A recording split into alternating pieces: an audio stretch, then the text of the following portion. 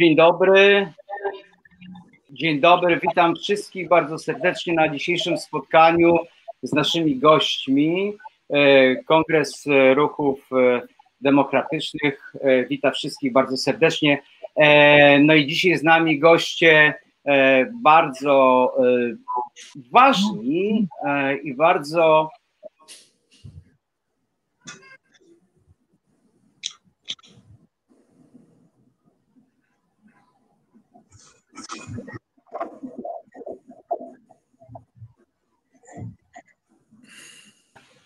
Dzień dobry Państwu. O. Dzień dobry. Czy się słyszymy? To jeszcze, raz, jeszcze raz próba. Czy, czy my się słyszymy? Teraz tak. Tak, wszystko jest dobrze. Mam nadzieję, mam nadzieję, że nam e, e, taki psikus się jeszcze raz nie zdarzy. E, czy to jest Pegasus, czy nie, nie wiem. W każdym bądź razie jedziemy z, z naszym spotkaniem dzisiejszym. Jeszcze raz wszystkich bardzo serdecznie witam, a z nami dzisiaj są pani sędzia Beata Morawiec, pan sędzia Paweł Juszczyszyn i pan sędzia Igor Tuleja. Witam jeszcze raz. Można by powiedzieć, że świat się wokół państwa dzisiaj kręci. E, chciałbym bardzo, żeby to było takie optymistyczne i, i wesołe i przyjemne dla nas wszystkich. Niestety nie z powodu e, dobrych informacji i wieści tego, co się dzieje w sądownictwie, ale zanim przejdziemy e, do, do naszej rozmowy, do takiej no, poważ, do poważnych spraw, chciałbym wszystkim e, oznajmić i powiedzieć, że pani e, sędzia Beata Morawiec ma dzisiaj urodziny. I dlatego e, krótkie 100 lat, 100 lat chcielibyśmy zaznaczyć. 100 lat. Wszystkiego, Dziękuję bardzo. Wszystkiego najlepszego, wszystkiego dobrego, tego życzymy i chciałbym, żeby też to nasze spotkanie przebiegało w takiej pozytywnej atmosferze, na ile to się może zdarzyć, aczkolwiek zaczniemy od trudnych tematów. Zanim jednak przejdziemy, to też chciałbym powiedzieć o tym, że wspominam bardzo, myślę, że Państwo wspominacie ten czas Marszu Tysiąca Tuk, który przecież równo rok temu e, był, odbył się w Warszawie. E, rzućmy okiem na to, jak to wyglądało. Również rozmawiamy, przechodzą, otrzymują w tej chwili widzimy, jak te delegacje zagraniczne, o których również rozmawiamy, przechodzą, otrzymują oklaski. Posłuchajmy.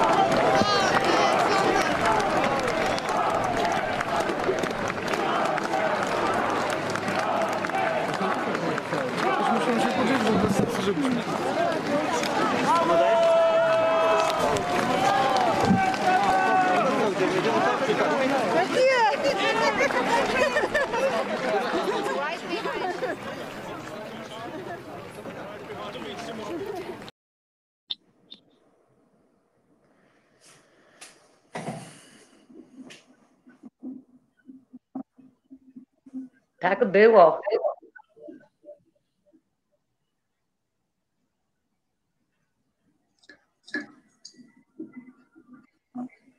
Jak właśnie jak, jak wspomnienia, co się zmieniło, e, tak, co się zmieniło e, w tym czasie, e, jak, jak wspominacie Państwo ten czas? Może od pani sędzi, pani Beaty Morawiec zacząłbym, poproszę. Co się zmieniło? Jest jeszcze gorzej niż było. Nic pozytywnego w wymiarze sprawiedliwości się nie stało. Żadna z wprowadzonych zmian nie osiągnęła zakładanego przez rządzących celu. Mamy pandemię, sondaż zapaść, a nasza sytuacja, sytuacja tu obecnych jest wyjątkowa. To też się, że tak powiem, stało w tym roku, który minął. Choć powiem szczerze, że ten Marsz Tysiąca Tuk w tamtym roku to było wielkie wydarzenie i dla mnie ogromny prezent urodzinowy. Ja jechałam z wielką nadzieją na to spotkanie i powiem szczerze, mile się rozczarowałam. Byłam zaskoczona, byłam naprawdę usatysfakcjonowana tym, jak społeczeństwo zareagowało na nasz apel. Jak pięknie i sędziowie europejscy, i sędziowie nawet spoza Europy stanęli razem z nami w szeregu i manifestowali obronie praworządności. Natomiast tak naprawdę mm, no nic pozytywnego nie mogę powiedzieć, że się w międzyczasie stało, a co przed nami, to strach się bać, bo jeżeli rzeczywiście rządzący zaczną realizować kolejny etap reformy, no to dojdzie do całkowitej demolki y, sądownictwa. Mm -hmm. sędzia Paweł Juszczyszyn, e, panie sędzio, jak pan e, wspomina tamten czas Marszu Tysiąca Tuk? Tysiące ludzi, sędziowie z zagranicy, e, był ten duch, sam byłem tam na, na tym marszu, no naprawdę czuło się moc, potęgę. Minął rok. W jakim miejscu jesteśmy? No tak, y, to były wspaniałe chwile, ale to nie znikło, to jest nadal w ludziach i myślę, że, że tylko jak przyjdzie wiosna, to znowu to wszystko spod śniegu wybije.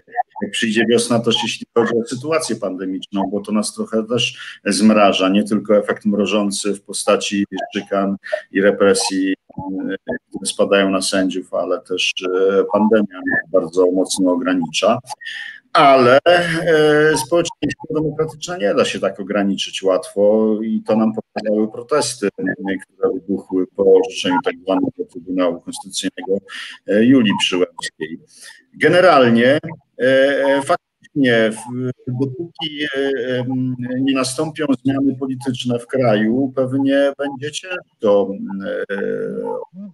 naprawić sytuację w wymiarze sprawiedliwości. Natomiast owszem, po Marszu Tysiąca Pług uchwalono tak zwaną ustawę kagańcową, ale doskonale zdajemy sobie z tego sprawę, że jest to ustawa, która e, rażąco łamie konstytucję. A w tej chwili, i to jest taki E, pierwiostek, e, e, myślę, i optymistyczny element. I po, po naszej stronie walczących o praworządność, a z kolei element, który będzie budził duże obawy, myślę, i coraz większe wśród kasty trzymającej władzę, to orzeczenie Europejskiego Trybunału Praw Człowieka w sprawie islandzkiej. E, które e, e, pokazuje Polsce, tak jak pokazano też w, w sprawie islandzkiej, że powoływanie sędziów w, w, procedurze łamiącej prawo jest nieskuteczne, że prezydent nie stoi ponad prawem, że trzeba szanować trójpodział władzy. I to też e, to orzeczenie myślę, że da nam e, instrument do tego, żeby sądy w rozproszonej kontroli konstytucyjnej, w stosowaniu prawa w poszczególnych sprawach przywracały praworządność. Panie no. sędzio, jeżeli mogę, mogę przeszkodzić. To jest optymistyczna e, element, który od tamtego Dziękuję bardzo. Na pewno w szczegóły jeszcze będziemy wchodzili dalej e, w trakcie naszej rozmowy. E, teraz sędziego Igora Tuleje chciałbym też poprosić o e, to wspomnienie i stosunek do tego, co się stało przez ten rok, chociaż wszyscy wiemy, no niestety, że rzeczywiście, tak jak pani sędzia Beata Morawiec wspomniała, nie jest lepiej, jest znacznie gorzej, bo przed nami 20 stycznia. Panie sędzio. Um ja mogę podpisać się oczywiście pod tym, co, co mówili moi przyjaciele, natomiast chciałbym zwrócić uwagę na takie e, dwa pozytywne elementy, że od początku e, my, Polacy, w tej walce o praworządność nie byliśmy sami, bo wspierali nas prawnicy, obywatele europejscy i Europa rozumiała i widziała to, że, e, że jesteśmy częścią tej Europy i że niszczenie sądów w Polsce tak naprawdę jest niszczeniem sądów europejskich, więc mieliśmy zawsze wsparcie nie tylko tutaj w kraju, ale również wśród osób spoza, spoza granic naszego państwa. Natomiast oczywiście smutne jest to, że te instytucje europejskie nie reagują tak, jak powinny reagować, ale to jest inny temat. I też um, warto zwrócić uwagę na to, co, um, co od pięciu lat trwa i, i rozwija się, czyli jakby ta solidarność i poczucie wspólnoty wśród obywateli, że ja mam wrażenie, że to wsparcie dla, dla sprawy e, praworządności jest coraz większe e, i ta solidarność jest e, bardzo ważna, więc to jest po prostu fajne. Dziękuję, dziękuję bardzo. I tak jak już te, tego typu spotkania, rozmowy, które udało mi się przeprowadzić już wielokrotnie z ciekawymi osobami, a Państwo dzisiaj jesteście naprawdę E, e, osobami nie tyle ciekawymi, ile ważnymi e, przede wszystkim w tym, co się dzieje wokół nas. Chciałbym Was zapytać, jako taki obywatel, jako człowiek, który jest na ogół ciekaw tego, jak sobie inni radzą w tych trudnych chwilach, a szczególnie właśnie Wy, kiedy zostaliście częściowo też i pozbawieni immunitetu, E, pozbawieni wynagrodzenia w części czy w całości poprzez odsunięcie od pracy. Właśnie chciałbym zapytać takie szczegóły przy okazji, jak sobie radzicie w życiu codziennym, jak to się e, przełożyło na wasze życie codzienne, bo o to właśnie chciałbym zapytać. Wy jako obywatele, bo jesteście sędziami, ale przecież jesteście obywatelami w życiu, w którym musicie sobie radzić nie tylko zawodowo. Pani sędzia Beata Morawiec, bardzo proszę. A już włączam mikrofon, momencik. Z momentu, kiedy zostałam pozbawiona możliwości orzekania, bo Izba Dyscyplinarna podjęła swoją uchwałę 12 października ubiegłego roku, więc nie da się inaczej tego policzyć. No, mija już trzy miesiące. Ale tak jak mówiłam, no, pierwszy szok już dawno minął, y, natomiast y, Radzimy sobie, zbieramy, jak przynajmniej ja sobie radzę, zbieram siły, walczę z problemami domowymi, staram się, że tak powiem, uczestniczyć nadal w życiu swojego sądu, w którym bywam i trudno by było inaczej, bo tam moi przyjaciele, to jest mój matecznik, to jest to miejsce, które y, zawsze ceniłam i w którym zawsze chciałam być. Mm, więc dlatego dalej y, utrzymuję kontakty z moimi kolegami z pracy, bywam w pracy, uczestniczę w życiu mojego sądu. Y, mam czas na to, aby y, czytać, aby y, bardziej angażować się w rzeczy niezwiązane z pracą. Natomiast generalnie brakuje, brakuje, jakby nie było. W 87 roku skończyłam studia, bo ja jestem starsza od moich kolegów, a w 90 roku już byłam sędzią. W związku z tym to nie da się ukryć, że to już 30 lat. I ponieważ całe moje życie było związane z sądem, naprawdę wiele poświęciłam również w życiu prywatnym dla wykonywania mojego zawodu, dlatego może tak teraz strasznie mi tego brakuje. Ale mam nadzieję, że ten problem szybko się skończy i będę mogła wrócić do wykonywania swoich obowiązków, czego i moim kolegom życzę, bowiem mam nadzieję, że uda nam się bardzo skutecznie pozbyć y, tych wszystkich zarzutów, które nam stawiają, a y, równocześnie potem wyciągnąć konsekwencje wobec tych, którzy doprowadzili do takiego stanu, w jakim teraz jesteśmy. Y, trudno powiedzieć, że jest to łatwe. Nie jest to łatwe, bo jesteśmy tylko ludźmi. Sędzia nie jest nad człowiekiem. Sędzia jest nie tylko człowiekiem, obywatelem kraju, ale normalnie żyje w społeczeństwie i normalnie wykonuje swoje y, czynności życiowe i rodzinne. Ale cóż, no, Nigdy w życiu nie spodziewałam się, że w takiej pozycji zostanę postawiona i nigdy w życiu nie myślałam, że z takimi problemami się będę borykać. Ale nie dam się. Dobrze to słyszeć. Ja przy tej okazji chciałbym też pozdrowić wszystkich sędziów krakowskich, bo naprawdę tam widać taką mocną grupę pod wyzwaniem. Nie wiem, czy to jest, czy to jest zasługa pani jako przewodniczącej, jako yy, osoby, która przewodzi Justitii e, i, i... Nie Justicji, Temisowi. Temi, przepraszam, Temis, przepraszam bardzo, tak, wycofuję się Temisowi. A właśnie, a skoro już y, to jeszcze pozwolicie panowie, że jeszcze zatrzymam się tutaj przy, y, y, przy pani sędzi Beacie Morawiec. E, czy jest współpraca między Justicją a Temisem, czy jest tarcie, czy z kolei to wpływa jakoś korzystnie, czy niekorzystnie? Jak, jak to wygląda? Ja, ja powiem, Nigdy nie to... było tarcia pomiędzy, przynajmniej Aha. za czasów mojego szefowania stowarzyszeniem, wcześniej zresztą też nie.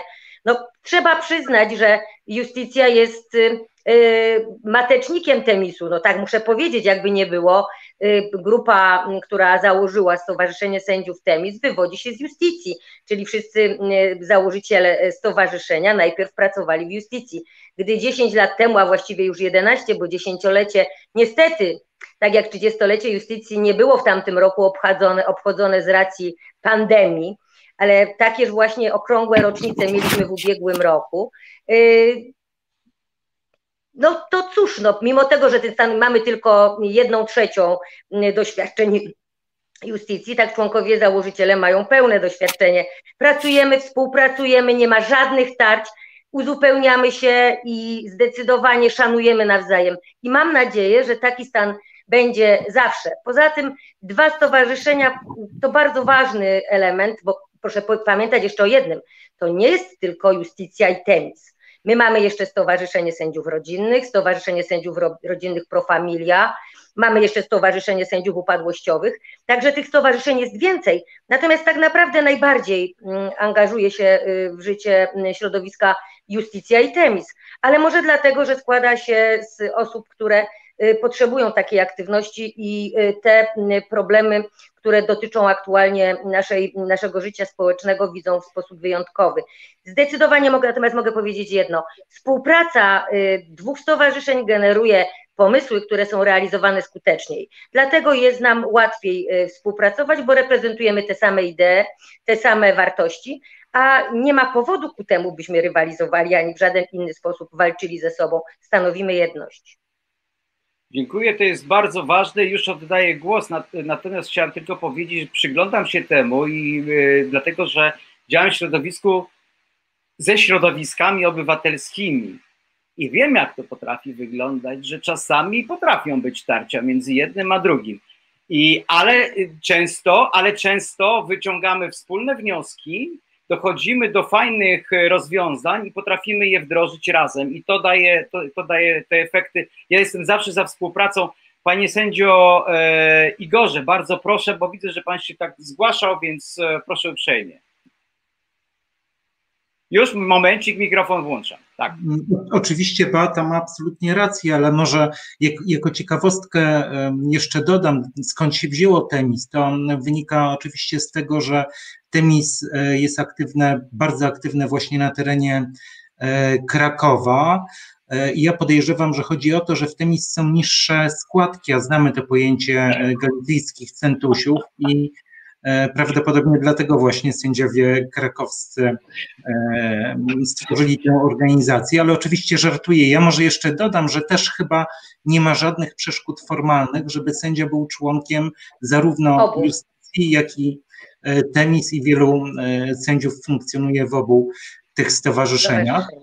E, więc tutaj wcisnąłem swoje trzy, trzy grosze i zapomniałem oczywiście ze względu na wiek, jakie było zasadnicze i główne pytanie. Zasadnicze pytanie było takie, jak sobie e, Państwo radzicie jako hmm. obywatele w życiu codziennym z problemami życia codziennego, e, takimi doczesnymi sprawami. Poza tym, że jesteście sędziami, musicie się hmm. zmagać z codziennością. W zasadzie powinienem oddać głos Pawłowi, bo on z nas e, najdłużej jest odsunięty od, od służby sędziowskiej, ale jak Państwo widzą sędziego Juszczyszyna, to nie mają wątpliwości, że on sobie źle radzi i, i wygląda tak sobie. Więc ja, ja może powiem, że już dokończę, że e, dopiero, dopiero po tym, jak zostałem odsunięty od służby sędziowskiej, zdałem sobie sprawę, ile ten sąd znaczył w moim e, życiu, ile czasu zajmował, bo tak naprawdę całe moje życie e, było związane właśnie z wymiarem sprawiedliwości, w którym pracuję od, pracowałem, pracuję od 25 czy 26 lat i rzeczywiście te początki były strasznie trudne. Musiałem sobie czymś zapełnić E, tę pustkę i tutaj jakby wiele mi pomógł, czy, czy wiele pomogły wskazówki mojego przyjaciela Pawła Juszczyszyna, który opowiadał, jak on sobie z tym radzi. No i ja też próbuję zapełnić ten czas i próbuję się czegoś nowego uczyć i usiadłem na nowo do, do angielskiego i też podobnie jak e, Beata czy Paweł stara, staram się być aktywny w tej sferze obywatelskiej, choćby poprzez uczestnictwo w takich kafejkach jak e, nasza.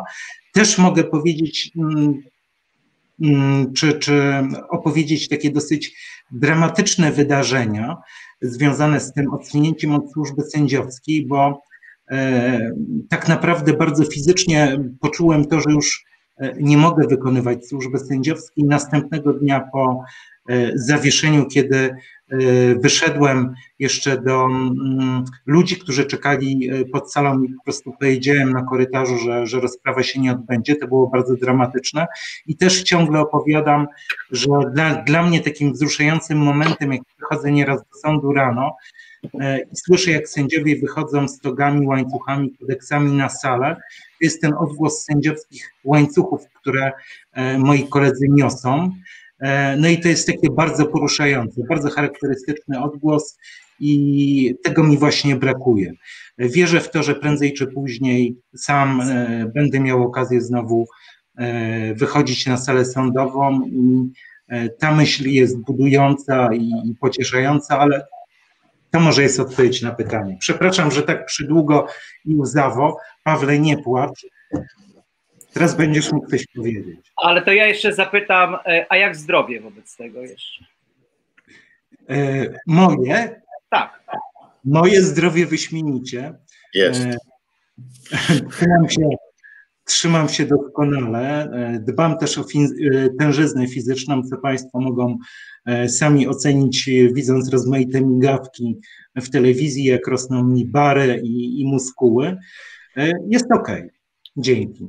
Świetnie, dobrze, to przechodzimy teraz, e, jeśli mogę tak powiedzieć, do sędziego Pawła Juszczyszyna. Panie sędzio, jak pan sobie radzi z codziennością? Bo przecież rodzina, bo przecież ta praca nie ma takiego wymiaru, jak mieć powinna, jakby pan pewnie oczekiwał. Gdzieś tam z tyłu głowy coś zawsze się rodzi.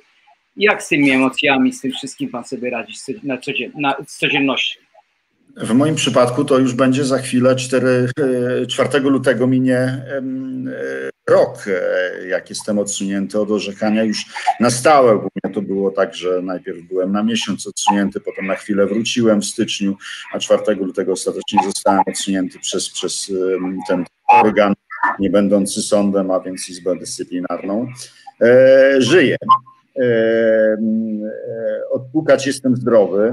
E, dzisiaj byłem ponownie w sądzie, złożyłem e, kolejne pismo, które oceniane jest przez prezesa Sądu Rejonowego w Olsztynie jako, jako uporczywe nękanie, a więc pismo, w którym domagam się przywrócenia do obowiązków dopełnienia służby sędziowskiej, do, do e, e, przywrócenia do pracy,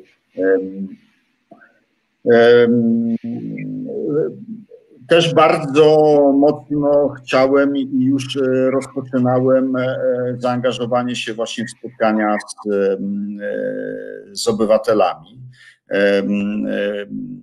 I tutaj e, pandemia troszeczkę pokrzyżowała nam plany, jakimś, ale takim nie do końca mnie satysfakcjonującym substytutem, substratem tego.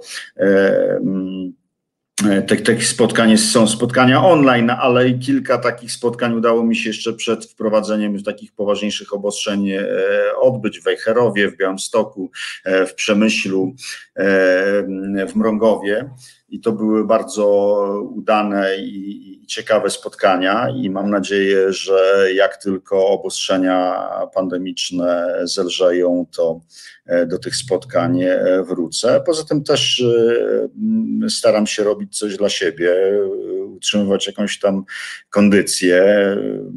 W, w Trzech Króli przykładowo płynąłem z, z kolegami e, łyną, kajakami, zaliczyłem wywrotkę, więc topiłem się w łynie, e, więc miałem i spływ kajakowy zimowy, i morsowanie w jednym.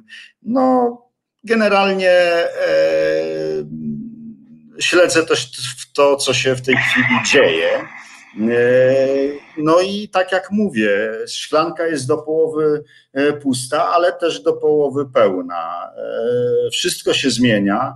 E, są też zmiany, które bardzo dobrze rokują i ja jestem przekonany, że, ta, że my wyjdziemy wszyscy z tej ciemnej nocy. Spójrzmy, co się stało w Stanach Zjednoczonych. E, e, te młyny sprawiedliwości organów Unii Europejskiej czy Rady Europy, tak jak Europejski Trybunał Prawa, e, Europejski Trybunał Praw Człowieka, owszem, mielą powoli, ale mielą ale mielą i, i to może dobrze też, że z drugiej strony nam daje się możliwość e, tego, żebyśmy zrobili porządek w naszym kraju własnymi rękoma, żebyśmy wzmocnili e, demokrację, instytucje demokratyczne, żebyśmy e, wrócili do trójpodziału władzy, do praworządności. Dziękuję, dziękuję. I tutaj pytania kolejne się pojawiają, bo skoro już tak powiedzieliśmy o, o tej kwestii takiej osobistej, ale jednak jak widać cały czas ta osobista kwestia, o którą chciałem zapytać, dopytać rodzinnie, ona cały czas wchodzi na teren tego zawodu, czyli sędzią tak naprawdę, to chyba się jest 24 godziny. e, na dobę, można by mnie mać, czy bez łańcucha, czy z łańcuchem, to jest się tym sędzią. Ja chciałbym zapytać o jedną e, rzecz. Skąd Państwo czerpiecie tą siłę. Tą siłę, żeby trwać, kto wam ją daje? Może jest jakiś złoty środek, e, bo mówimy też e, o współpracy, e, mówiliście Państwo o współpracy chociażby czy w, w środowiskach sędziowskich, w stowarzyszeniach, ale przecież sędzia to indywidualista, jak słyszałem, z ust sędziego zresztą to e, skąd czerpiecie tą siłę? Może jest jakiś złoty środek, jeszcze raz zapytam. Poproszę panią sędzię Beatę Morawiec. Nie ma złotych środków, są przyjaciele, rodzina, ludzie, którzy patrząc nam w oczy mówią dziękujemy wam bardzo. I my, stojąc przed lustrem, patrząc sobie w oczy, mówimy musisz podołać. Życie jest krótkie, piękne i muszą ludzie wspominając o ciebie, kiedy ciebie na tym świecie zabraknie, powiedzieć, to był człowiek, który swoje życie przeżył godnie. Dlatego nie ma, nie ma recepty. Każdy z nas inaczej walczy ze swoimi problemami, ale ma te same cele i te same zasady. Dlatego cieszymy się, że obywatele stają za nami, że nasi przyjaciele stoją za nami murem, że rodziny nas wspierają, a równocześnie no przynajmniej mnie, myślę, że i Pawła, i Igora również, wychowano w poczuciu odpowiedzialności, y, w, roz, w prawidłowym rozumieniu zasad, jak i po prostu wychowano nas w państwie praworządnym. My wszyscy w trójkę mamy to szczęście, które wynika y, z faktu, że pracowaliśmy y, i pracujemy w państwie, które już dawno zapomniało o tym, że kiedyś nie miało, nie było demokracją. Natomiast może też dlatego, że tak nas wychowano, tak nas uczono, tak nas wykształcono, bo takie wartości wpajano nam przez całe nasze życie, nie potrafimy z tych wartości zrezygnować i nie chcemy z nich rezygnować. I to bez względu na to, jaką za to musimy ponieść cenę. Y, generalnie już nie będę powtarzać sloganów, rzeczy mądrych, które wymyślili inni, ale chcę powiedzieć, no, ja inaczej nie potrafię. Może dlatego, że tak mnie wychowano, może dlatego, że tak mnie wykształcona, może dlatego, że po prostu taki mam charakter. Natomiast, no, ponieważ wykonywałam całe życie to, co zawsze chciałam robić, praca stwarzała, dawała mi ogromną satysfakcję. Zawsze wykonuje się dużo lepiej pracę, którą się kocha. Ja, ja ją kochałam i kocham dalej. Y, I uważam, że jest o co walczyć. Jest, jest o co walczyć nie tylko w, y, po to, żeby wrócić do zawodu, ale po to, żeby nasze państwo wreszcie stało się naprawdę demokratycznym państwem, a my mieli, żebyśmy mieli szansę wreszcie żyć y, w kraju, gdzie normy i zasady nie są łamane, a praworządność jest, nie jest pustym słowem. Dziękuję, to ważne, ważne słowa. Aż mi troszkę tak się troszkę zrobiło skliwo, ale przepraszam. Kurczę, no nie wiem, nie wiem, co można dodać. Można się tylko podpisać pod tym, co powiedziała Beata. Też nie chcę psuć e, wypowiedzi Pawła, bo on na pewno będzie mówił o alkoholu i narkotykach. Ja mogę tylko od siebie dodać, że e, no takie przekonanie wewnętrzne, że, że to, co się robi, to jest e, słuszne, dużo daje i oczywiście ta solidarność i wsparcie, które otrzymuje się od najbliższych i od przyjaciół. No, jeśli coś dzieje się, to zawsze dostaję SMS od Pawła czy od y, Beaty. I taka solidarność ludzka, to o czym ciągle mówimy, o czym już ja dzisiaj wspominałem, to jest, to jest chyba najważniejsze. I to wewnętrzne przekonanie o słuszności, mm, słuszności drogi, którą się idzie. Czyli Złoty Środek to przyjaciele między innymi z tego, co rozumiem. Przede wszystkim przede wszystkim. A co na to sędzia Paweł Juszczyszyn? No, e, ja chcę powiedzieć, że e, e, wsparcie otrzymuje ogromne. Przyjaciół, znajomych, ale też okazało się, że wiele ciepłych słów i wyrazów solidarności otrzymuje z, z całej Polski za pośrednictwem Messengera, za pośrednictwem e, strony na Facebooku. Natomiast e, e, tak, przede wszystkim to ja po prostu jestem przekonany o, tak głęboko przekonany, prawdziwie przekonany o tym, że, że postąpiłem słusznie i to daje mi ogromną satysfakcję i taką moc. Po prostu jestem przekonany, że, że nie można inaczej, że tylko bezkompromisowa walka o pryncypialne zasady ma sens i ona daje moc. E, I tutaj bym e, apelował do, do, do i sędziów, kolegów sędziów, e, którzy jeszcze się wahają, jeszcze może nie mają w pełni przekonania, czy, czy warto, ale też do wszystkich innych, bo społeczeństwo nasi współobywatele też się borykają z różnymi problemami takimi z życiowymi e, związanymi z aktualną sytuacją e, taką społeczno-polityczną.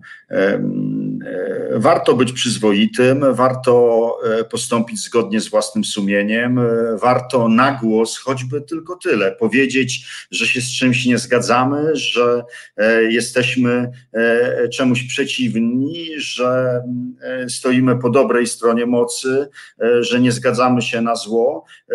To daje ogromną satysfakcję i siłę, i choćby nawet nie spotkała nas e, od razu nagroda, to, ta, e, e, to ten szacunek współobywateli i poczucie własnego takiego spełnienia, że się stanęło na wysokości zadania, daje ogromną siłę. I, i, i, i polecam każdemu. Spróbujcie. Dziękuję, dziękuję bardzo to były ważne słowa, ale ja zapytam też o ważną rzecz w dalszej części naszej rozmowy i chyba ona to pytanie wydaje mi się, że będzie trudne. Środowisko sędziowskie, to, które ja znam, czyli mam przywilej znać państwa i jeszcze innych sędziów, e, e, ale są też przecież inni sędziowie. E, to środowisko się podzieliło. To środowisko w tej chwili chyba stanęło w takim momencie, że powinno się opowiedzieć po tej albo po tej stronie. Może ja źle rozumiem, e, ale e, jak e, Wam się, Szanowni Państwo, mija z takimi osobami na korytarzu w sądzie albo na ulicy, którzy być może jutro będą Was osądzać, a być może skazywać pani sędzia Beata Morawiec, jeżeli by pani zechciała słowo w tym temacie. W każdej grupie zawodowej są ludzie, którzy szanują pryncypia i zasady, i tacy, którzy ich nie szanują. Uważam, że ci, którzy, że tak powiem, podjęli decyzję, mm, decydując się na współpracę z aktualnie rządzącymi i niszcząc wymiar sprawiedliwości, no liczą się z tego konsekwencjami. Widzą je na co dzień zresztą, bo proszę zwrócić uwagę, jak pan redaktor powiedział, mm, że tej, podzieliliśmy się. Myśmy się nie podzielili. Ja uważam, że wszystko to, co się stało, bardzo skonsolidowało sędziów, ponieważ y, ci ludzie, o których pan wspomina, to są wyjątki od zasady. Większość y, sędziów, y, jak to powiedział kiedyś Igor, się po prostu nie ześwini. Kto się miał ześwinić, to się już ześwinił. Natomiast to, co się teraz dzieje, to jest taka, taki etap, kiedy y, ludzie zaczynają się niestety z uwagi na prawdopodobnie zmęczenie materiału półczasu zastanawiać nad współpracą w innym aspekcie, który mnie troszeczkę, bo dlaczego mówię w innym aspekcie? Bo podstawowy aspekt to jest współpraca w formie pełnienia różnego rodzaju funkcji, bo tak naprawdę przejęcie wymiaru sprawiedliwości, a właściwie reforma wymiaru sprawiedliwości, quasi reforma, to tak naprawdę wymiana kadr, wymiana osób y, zarządzających sądami na osoby niekompetentne i osoby y, uległe wobec ministra sprawiedliwości i jego y, decydentów. Natomiast mnie martwi teraz inny aspekt tego wszystkiego, mianowicie ten, który wynika z ogromnej ilości obwieszczeń na wyższe stanowiska sędziowskie i ogromnej ilości obwieszczeń na stanowiska sędziowskie, gdzie te awanse poprzez decyzję neo-KRS-u osiągają osoby, które Y, w normalnych warunkach, kiedy ta ocena dokonywana przez y, prawdziwy, prawdziwą Krajową Radę Sądownictwa, samorząd sędziowski i przełożonych tych ludzi nigdy w życiu nie mieliby szans na awans. I to niestety ci ludzie awansują w czasach, kiedy to nie jest czas na awans, to nie jest czas na to, by własne interesy przedkładać na, nad interes ogółu. I to tak naprawdę mnie teraz najbardziej boli, bo y, no, realizują swoje cele w sposób bezkompromisowy, nie zważając na to, jakie to przyniesie w przyszłości skutki, ci ludzie, którzy tak naprawdę na to nie zasługują. No ale cóż, konsekwencje w tym zakresie będą nieodwracalne, bo w momencie, kiedy prezydent wręczy nominację, to, że tak powiem, powrót do y, stanu pierwotnego, nie powiem, że może będzie niemożliwy, ale będzie prawie, no prawie niemożliwy. Natomiast y, jeżeli chodzi o administrację sądów i to, co się dzieje w naszym środowisku, no to myślę, że tak jakbyśmy mogli policzyć, to tak mamy 90 do 10%, więc środowisko nie jest podzielone. To tak jak w tym stadzie owiec, zawsze znajdą się jakieś czarne. O, rozumiem, dobrze. Troszeczkę mamy opóźnienie, widzę e, w, w transmisji. E, dobrze, czy, czy sędzia Igor Tuleja mnie słyszy? O, Halo, halo, słyszymy się? Tak, tak, słyszę, ja, ja nadaję z Warszawy, także nie będzie na pewno żadnego opóźnienia. Dobrze, a ja e, chciałbym, zanim, zanim, zanim usłyszymy to słowo, to e, jak się czuje e, sędzia, który 25 lat orzekając, ani razu nie, nie został, nie było takiej prośby, żeby go odsunąć od, od orzekania, czyli wy, wyłączenia od sądzenia, a dzisiaj być może stanie przed takimi sędziami mm, czy prokuratorami, którzy, e, którzy pną się po szczeblach kariery e, i będzie musiał, kto wie, pójść do więzienia?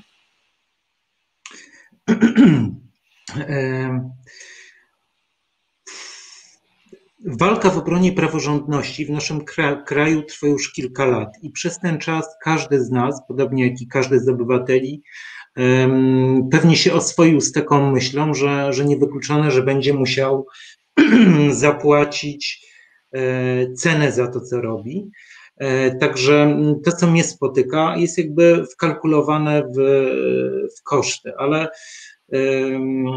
choćby nie wiadomo, jak wysoko, wysoka miałaby być ta cena, e, niczego nie żałuję i mogę tylko potwierdzić, że warto, warto mm, walczyć o te pryncypia, warto bić się o, o wartości. No, mm, nie jest to żadnym zaskoczeniem i od samego początku liczyliśmy się z tym, że mm, tak to między innymi może wyglądać, natomiast jestem przekonany, że, że to zwycięstwo prędzej czy później nadejdzie i wierzę w to, że, że ono nadejdzie szybko.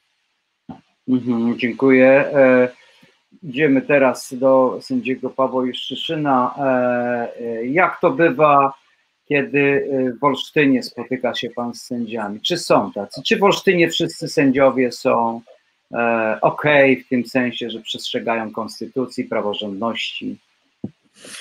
Zdecydowana większość e, sędziów e, opowiada się po stronie konstytucji i praworządności. Jest oczywiście grupka e, osób, które przy tej okazji, nie zważając na pryncypie, a na wartości, próbuje polepszyć swoją osobistą sytuację i, i wykorzystuje tą sytuację do awansu ale tu nie zgodzę się z Beatą, że sytuacja po wręczeniu e, nominacji powołania przez e, prezydenta na stanowisko sędziego na wniosek na OKRS jest e, nieodwracalna. Bo właśnie ta wyrok Europejskiego Trybunału Praw Człowieka w sprawie islandzkiej, o której wspominałem przy, w, pierwszym, w pierwszej wypowiedzi, wskazuje nam, że prezydent, bo podobnie było w, w Islandii, prezydent nie jest królem, który namaszcza na sędziego. Prezydent, prezydencka prerogatywa powoływania sędziów nie oznacza, że prezydent prerogatywa oznacza tylko tyle, że e, prezydent nie musi mieć do swojej decyzji, do powołania sędziowskiego w tym przypadku, o którym mówimy, e, uzyskać kontrolasygnaty e, premiera. Natomiast prezydent, tak jak każdy organ władzy publicznej w Polsce, zgodnie z artykułem 7 Konstytucji, musi działać na podstawie prawa i w granicach prawa. I e, tak jak to wyłożył Europejski Trybunał Praw Człowieka w sprawie islandzkiej, Samo powołanie prezydenckie na sędziego nie powoduje, że mamy do czynienia z sędzią. A jeżeli ktoś nie staje się sędzią, to zgodnie z naszą konstytucją nie jest nieusuwalny. I e, osobom, wszystkim takim, które, e, e, które decydują się w tych okolicznościach w drodze e, tak zwanych konkursów, bo ich jakość jest wątpliwa, e, przeprowadzanych przez Krajową Radę Sądownictwa, jeżeli takie osoby decydują się w obecnej chwili na awans czy na przyjęcie do sądu, muszą się moim zdaniem liczyć z tym, że po przywróceniu zasad, E, praworządności e, zostaną poddane weryfikacji i w wielu przypadkach utracą stanowisko. W innym przypadku, i to nie chodzi o to, żebyśmy tutaj e, szukali jakiejś zemsty czy odwetu. Chodzi o przywrócenie elementarnych zasad uczciwości i sprawiedliwości, a dla obywateli e, e, prawdziwego, e, prawdziwych gwarancji rzetelnego, niezależnego, bezstronnego sądu. Chodzi też o to, żeby w przyszłości osoby, które będą e, e, stawały przed dylematem, czy pójść na współpracę i, i, i pokazać, przejawić taką postawę służalczą wobec władzy wykonawczej, czy też zachować niezależność, żeby miały świadomość tego, że jeżeli zaprzedadzą swoje E, wartości i zobowiązań, i, i, i złamią swoje zobowiązania co do niezależności, co do bezstronności, e, to e, konsekwencje nie będą wyciągnięte. To będą mogły korzystać z owoców swojego niegodnego zachowania.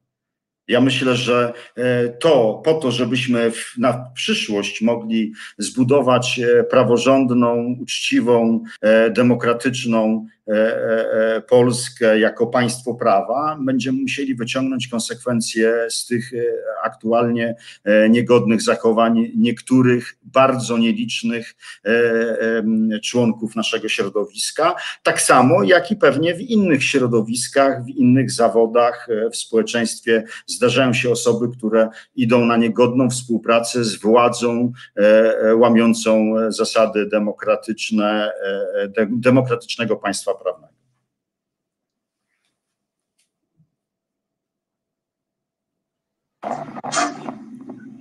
Dziękuję. To jeszcze pozwolę sobie zwrócić uwagę na, na jeden aspekt, jeśli w ogóle ktoś nas słucha, bo boję się, że po wypowiedzi Robespiera z Olsztyna to, to pewnie wszyscy po, pouciekali. Ale chciałem, chciałem... Ja rozumiem, że te złośliwości to jest obraz miłości mężczyzny do mężczyzny, taki czysty. Dobrze, bardzo prosimy. Taka, e, bo chciałem... słucha nas ponad tysiąc, przynajmniej blisko tysiąc osób na, na żywo. Mm, ale uważam że, uważam, że to nieuczciwe, bo po tych wpisach, które się pojawiają, to jakby nasi, nasi słuchacze i widzowie są głównie z Olsztyna, bo się zachwycają Pawłem, a nie było żadnego e, wpisu kogoś z Warszawy. Uważam, że to niesprawiedliwe i tu jest jakaś manipulacja.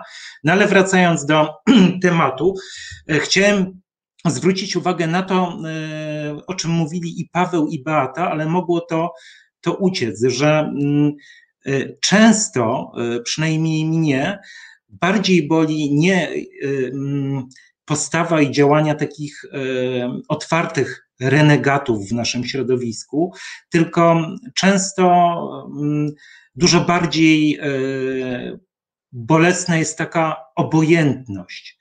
E, nie wolno być obojętnym w dzisiejszych czasach, bo wydaje mi się, że e, patrząc na to, co się dzieje, taka obojętność też jest zbrodnią, więc nie można stać z boku dzisiaj.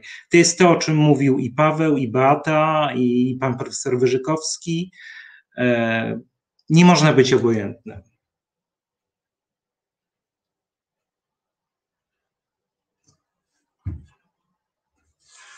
Ja chciałam, chciałam dodać i przypomnieć moim kolegom sędziom, a szczególnie Igorowi, że równo to nie znaczy sprawiedliwie, więc w związku z tym, jeżeli tylu słuchaczy z Olsztyna słucha, to się tylko cieszmy. Natomiast y, wracając do, do tematu naszej rozmowy, zdecydowanie cieszę się z interpretacji, którą przedstawił Paweł. Bardzo mi się podoba, jestem w stanie się pod nią podpisać. I bardzo dziękuję Igorowi, że zauważył to, co jest naprawdę bardzo istotne. Nie tylko warto być przyzwoitym, nie wolno stać biernie i patrzeć z boku na to, co się dzieje.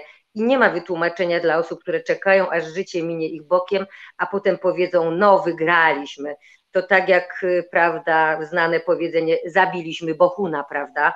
Natomiast generalnie y, to poczekamy, zobaczymy, chociaż y, czas się dłuży, bo wszyscy chcielibyśmy natychmiastowych reakcji europejskich, chcielibyśmy w sposób oczywisty mm, wskazania tych uchybień, które są przez nas piętnowane.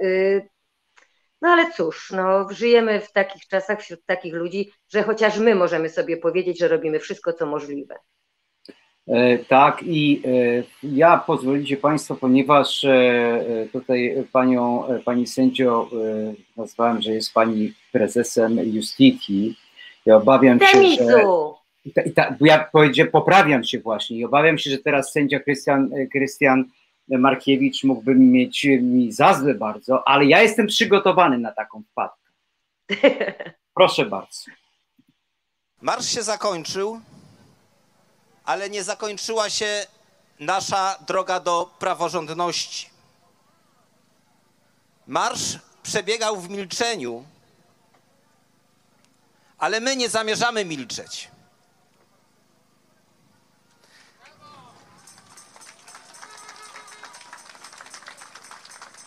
Na marszu mieliśmy baner prawo do niezawisłości, prawo do Europy. My nie zamierzamy odkładać tych wartości na bok. My chcemy o te wartości walczyć. Proszę Państwa, szliśmy z napisem, który zaprojektował specjalnie dla nas twórca legendarnego znaku Solidarności, pan Janiszewski. To bardzo symboliczne, ale niestety cofamy się do czasów, gdy Polacy marzyli o wolności i o tym, by stać się pełnoprawnym członkiem kultury, zachodniej kultury. Szliśmy w togach, ale nie zamierzamy ich zdejmować. Co najwyżej rzecznicy dyscyplinarni i niektórzy prezesi sądów, jak wczoraj w Elblągu, mogą chcieć nas ich pozbawić. Ale pozbawienie nas stóg, proszę Państwa, nie oznacza pozbawienia nas wartości. Bo praworządność jest tutaj, jest w naszych sercach, nie w togach i łańcuchach, chociaż są one dla nas świętością. No pani sędzio, jak pani się odniesie do tych słów? Nic dodać, nic ująć. Czy można by było w tak krótkim czasie przekazać tak wiele? Ja myślę, że to jest to, to jest clue y, tego, co się dzieje w naszych sercach. No, ja myślę, że zarówno Paweł, jak i Igor mogą powiedzieć y, tym samym, mogą się w stu procentach podpisać pod y, tym, co powiedział przed chwilą kolega Markiewicz. No, zdecydowanie. Wszyscy byliśmy na tym marszu, wszyscy słyszeliśmy te słowa, wszyscy je podzielamy. I chcemy powiedzieć wszystkim, że jesteśmy sędziami polskimi, sędziami europejskimi i ludźmi pełniącymi swą misję i swoje zadanie w sposób jak najbardziej rzetelny i odpowiedzialny. Jeżeli ktoś chce zniszczyć autorytet wymiaru sprawiedliwości, chce zniszczyć sądy i chce zniszczyć praworządność, mm, no to niestety y, musi się liczyć z konsekwencjami społecznymi, które to wszystko wywoła. I to konsekwencjami, które mogą być przerażające, bo państwa autorytarne, nawet y, w większości z nas znane tylko z historii, y, jednak budzi y, no, bardzo negatywne emocje. Czy sędzia Igor Tuleja ma coś do dodania? Czy chciałby uzupełnić wypowiedź sędziego Krystiana Markiewicza może? Myślę, że zabierę głos w imieniu moim i Pawła, i wydaje mi się, że my, jako sędziowie z justycji, e, na pewno nie mielibyśmy odwagi, żeby coś dodawać czy uzupełniać wypowiedź profesora Markiewicza, który jest sędzią i prezesem naszego stowarzyszenia. Aha, rozumiem, e, ale jednak mimo wszystko odważę się e, odnieść i poprosić o słowo sędziego Juszczyszyna. Ja chcę zwrócić uwagę e, na to, że e, Justicja i Temis, e, tak samo jak Stowarzyszenie Sędziów Rodzinnych i nie wiem, czy jeszcze tam dalsze stowarzyszenia nie uczestniczą w fundacji Dom Sędziego Seniora.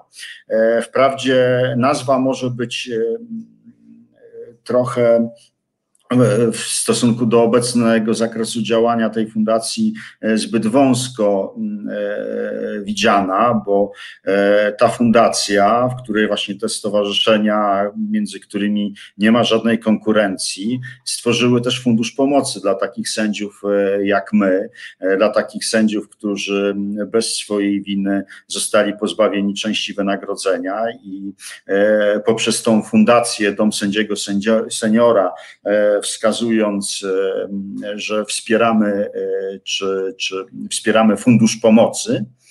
E, możemy też wspierać sędziów, takich, którzy, no, których spotykają z jednej strony represja, ale którzy też, jak rozumiem, mają odwagę występować w obronie praworządności. Jeśli chodzi o obojętność, e, tak, to jest e, takie mm, e, smutne z jednej strony, ale z drugiej strony bardzo ludzkie.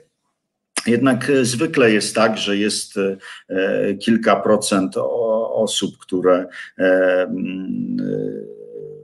starają, karierowiczów, którzy robią karierę przy okazji e, różnych e, e, takich zmian tutaj przewrotnie nazywanych dobrą zmianą. Jest też jakaś grupka osób, które są na pierwszej linii frontu i aktywnie walczą o praworządność, angażują się w to i, i ponoszą konsekwencje. I, I, zawsze jest tak, że jest grupa osób, która no, stara się jakoś przetrwać i, i zapewnić też spokój dla siebie i swoich rodzin.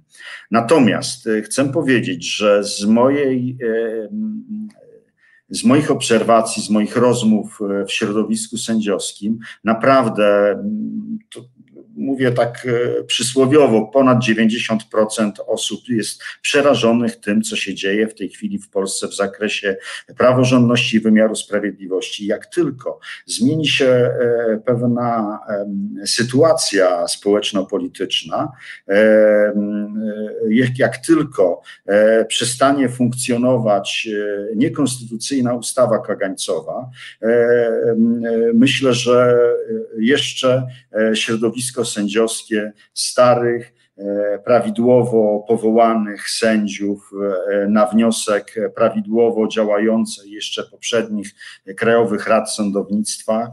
E, pokaże, że nasze środowisko też potrafi stanąć na wysokości zadania w większym w większej masie niż w tej chwili to e, e, może wyglądać i wszyscy neosędziowie nie mogą być pewni, a z drugiej strony ja jestem przekonany, że wszyscy, że większość, zdecydowana większość sędziów opowie się wtedy głośno i wyraźnie po stronie praworządności. Ale tutaj jedno słowo, jeszcze jedno zdanie dodam. Tutaj jest niezmiernie ważna e, rola e, społeczeństwa. Jeżeli społeczeństwo tego będzie się domagać od rządzących i od sędziów, to myślę, że e, sędziowie na, taki, na takie żądanie postawione przez społeczeństwo odpowie pozytywnie. Tak, ja zauważyłem, że zgłaszał się do odpowiedzi sędzia Igor Tuleja, ale też pani sędzia Beata Morawiec i w związku z tym, że to ja mam przycisk i to ja tutaj udzielam głosu, e, a że pani e, sędzia Beata Morawiec ma dzisiaj urodziny, bardzo prosimy. Bardzo dziękuję za ten piękny bonusik.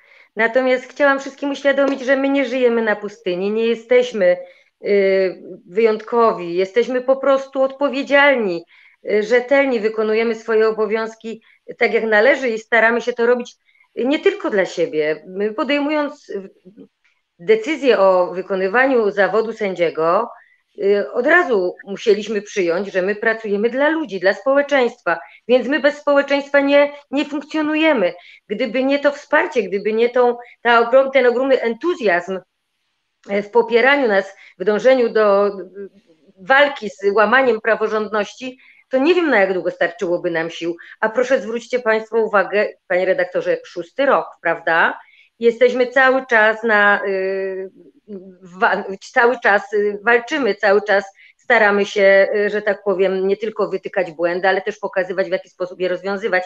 No ale cóż, no, żyjemy w takich czasach, w jakich żyjemy, tak jak powiedziałam już na wstępie, miejmy nadzieję, że szybko wrócimy do normalności. I anormalność to wcale nie ciepła woda w kranie.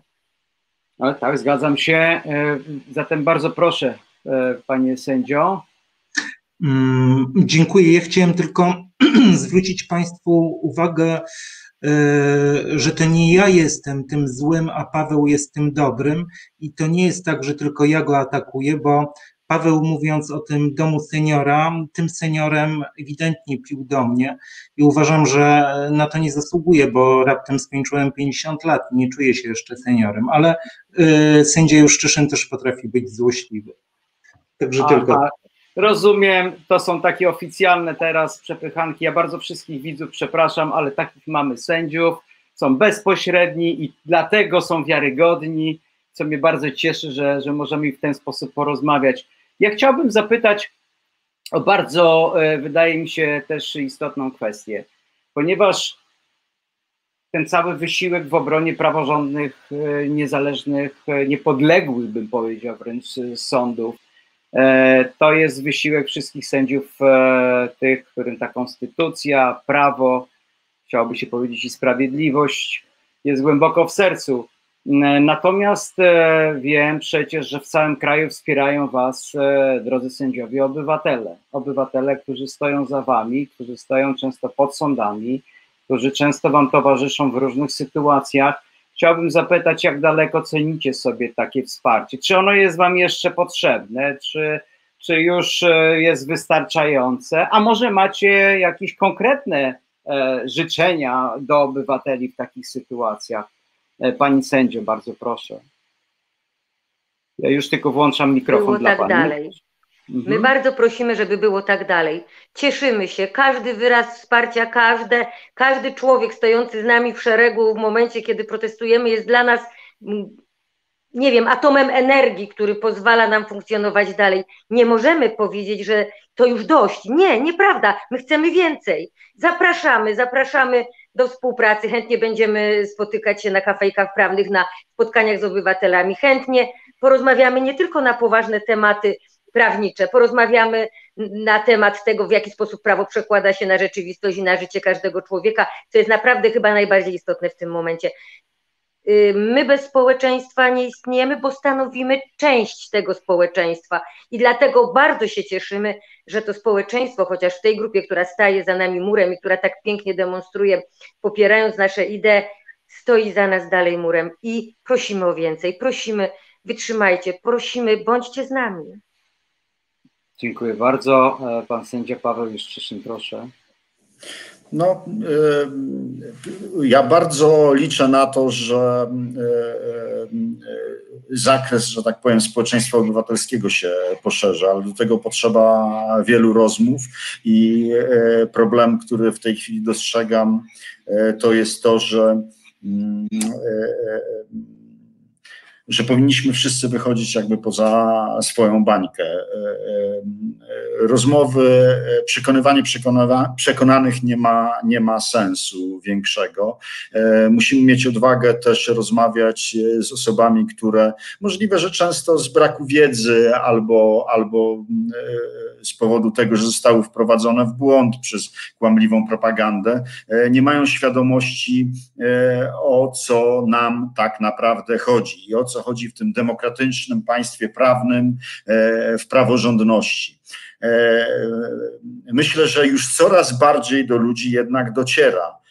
Również tych, którzy w społeczeństwie wykazywali tą taką postawę właśnie obojętną, którzy stali z boku, dostrzega to, jak ważna jest praworządność, że to od praworządności zależy to, czy możemy swobodnie prowadzić działalność gospodarczą, czy możemy się swobodnie poruszać po ulicach, czy jesteśmy chronieni przed arbitralnymi decyzjami policjanta na, na ulicy, czy mamy prawo do odwołania się od takich arbitralnych decyzji do niezależnego i bezstronnego sądu. I to, i to wszystko należy społeczeństwu uświadamiać, wychodząc poza tą naszą bańkę. I mam nadzieję, że, że każdy zrobi to, co, do, co, co, co leży w jego możliwościach. Naprawdę nie trzeba robić wiele. Każdy wystarczy, że dołoży małą cegiełkę, że będzie robił swoje, że nawet porozmawia z sąsiadem, sąsiadką czy z kimś z rodziny i uświadomi pewne problemy, które, które nas tak bardzo nurtują. Dziękuję bardzo. Teraz z tym pytaniem, co sędziowie mogą, przepraszam, co obywatele mogą jeszcze zrobić dla wspierania sędziów? Zwracam się do sędziego Igora Tulei. Wydaje mi się, że na to pytanie tak naprawdę już odpowiedziała i Beata, i Paweł. Ważne jest to, że Państwo ciągle, ciągle interesujecie się kwestiami praworządności, że widzicie to, że my nie walczymy,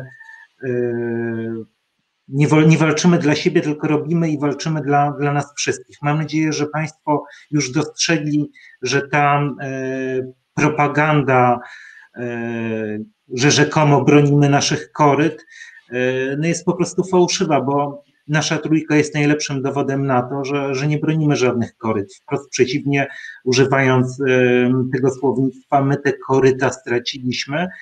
I od samego początku liczyliśmy się z tym, że takie mogą być koszty mówienia prawdy i, walki o, o praworządność. Wsparcie obywateli jest e, dla nas najcenniejszą nagrodą, my nie aspirujemy na, na żadne stanowiska i nie myślimy o awansach, więc każdy mm, gest poparcia, każde życzliwe słowo są dla całego środowiska prawniczego bardzo, bardzo ważne i za to dziękujemy. I dla mnie największą nagrodą było to, jak w 2017 roku e, pod Sądem Najwyższym obywatele pozwolili mi stać obok siebie e, na tych demonstracjach i na protestach.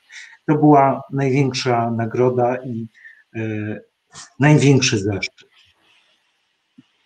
Mm, dziękuję bardzo. Tak naprawdę nasze spotkanie powoli dobiega końca, bo e, poleciało ten czas, jakoś nie wiem kiedy ta godzina minęła. E, chciałoby się jeszcze i jeszcze, ale nie chciałbym tego, tego spotkania zakończyć w jakiś tam swój wymyślony sposób. Chciałbym oddać e, tę, e, że tak powiem, rolę już teraz e, w, w Państwa ręce. I proszę, jak na sali niemalże sądowej się czuję, proszę ostatnie słowo albo po, podsumowanie, nie, nie wiem jak to tam, wolałbym na tej sali sądowej nie być, chyba że w obronie demokracji e, też też e, by mi przyszło, więc. A nie byłem, przepraszam, zapomniałem, że przecież mam za sobą dwa wyroki uniewinniające. E, e, dobrze, pani sędzio, co by pani ewentualnie chciała nam jeszcze powiedzieć? Nam, obywatelom, którzy dzisiaj siedzą i oglądają, a też chcę powiedzieć, przepraszam, że jeszcze słówko, ja nie wyświetlam wszystkich komentarzy. Te, które się pojawiają, to są wybierane przeze mnie, natomiast to jest lawina, lawina pozdrowień, e, słów wsparcia. E, to przewija mi się tak szybko, że nie jestem w stanie tutaj tego przeczytać. Jesteście Państwo przytulani, jeśli tak mogę powiedzieć, ze wszystkich stron, z całej Polski, e, nie tylko, z, przepraszam bardzo, z Olsztyna, ale również z Warszawy i, i z Krakowa też były pozdrowienia i z innych miast Polski i naprawdę e, jest bardzo, bardzo fajna atmosfera, ja to widzę, ja to tutaj widzę troszeczkę na podglądzie, wy tego niestety nie możecie zobaczyć, ale już wracam do pani, e, pani sędzio. Co by pani nam powiedziała, nam obywatelom, e, tak? Moi. Państwo, jeszcze będzie przepięknie, jeszcze będzie normalnie, trzymajmy się. Naprawdę jeszcze dużo szczęścia i dużo dobrych rzeczy przed nami. Będąc razem, podołamy każdej przeciwności. Dziękuję Wam bardzo za to, że jesteście. Dziękuję. No, chciałbym podziękować Państwu za Waszą postawę. I chciałbym powiedzieć, że tak jak się mówiło na początku naszej E, niepodległości, suwerenności, e, nie ma wolności bez solidarności, tak też nie ma wolności bez praworządności. E, prawdziwa praworządność daje prawdziwą wolność. I myślę, że wszyscy zaczynamy to dostrzegać. To nie jest formalne prawo, które nas wiąże i ogranicza przez wyznaczenie granic także dla władzy, e, e, to praworządność gwarantuje nam prawdziwą wolność. Serdecznie wszystkich pozdrawiam z optymizmem, e, bo ja osobiście jestem przekonany, że już niedługo będziemy żyli w lepszym kraju, bo wyciągniemy naukę z tego, co, przez co teraz przechodzimy. Pozdrawiam wszystkich. Dzięki serdeczne. I teraz e, Igor e, Tuleja, sędzia Igor Tuleja, proszę. A zaraz mikrofonik włączymy, proszę bardzo. Chciałem podziękować obywatelom i zaapelować, e, żeby nie tracić wiary. Jestem pełen optymizmu, pełen energii, woli walki. Jestem przekonany, że nawet jak przegrywamy bitwę, to e, wojnę wygramy. I apeluję po prostu o wiarę i optymizm. E, dziękuję, dziękuję serdecznie i na zakończenie przygotowałem coś, gdzie złamię trochę zasady funkcjonowania na Facebooku, ale to jest taki prezent ode mnie dla Państwa, dla nas wszystkich, mam nadzieję. Dlaczego? Dlatego, że być może to zostanie przez Facebooka wyciszone. Ja jako administrator postaram się do nich napisać, żeby e, nam to e, jednak pozwolili otworzyć w całości. Nasze spotkanie również, tak jak napisałem, będzie dostępne na e, bibliotece e, na YouTubie, więc tam na pewno nie będzie wyciszone. E, I tym, tym tą niespodzianką kończymy nasze spotkanie. I jeszcze raz dla pani sędzi Beaty Morawiec wszystkiego dobrego w dniu urodzin. Od, od, od nas wszystkich dużo Dziękuję bardzo. wytrwałości i trzymamy kciuki. E, a ja obracając się, że tak powiem, w środowisku obywatelskim, e, zapewniam Państwa, że sił, mocy dla Was e, nam nie zabraknie. Wierzymy w Was, nauczyliście nas życia obywatelskiego również. Jesteśmy Wam za to bardzo wdzięczni i chcę też powiedzieć, że możecie na nas liczyć. Zapraszam na niespodziankę.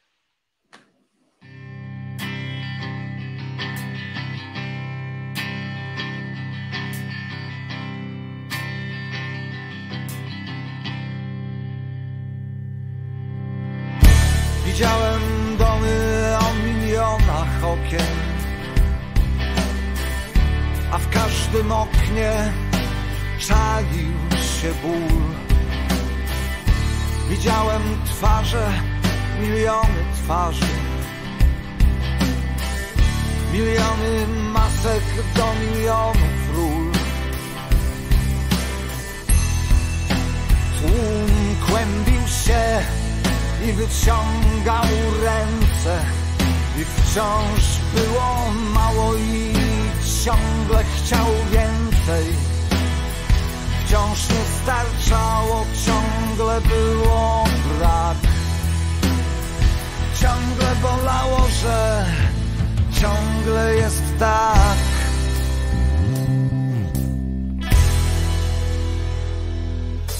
Strach nie pozwalał głośno o tym mówić. Strach nie pozwalał kochać się i śmiać. Strach nakazywał opuścić w dół oczy. Strach nakazywał cały czas się bać. Mieszkańcy kraju i wyjeżdżający Tacy zmęczeni, tacy cierpiący, przeklinający swój codzienny los. Słyszałem także taki głos.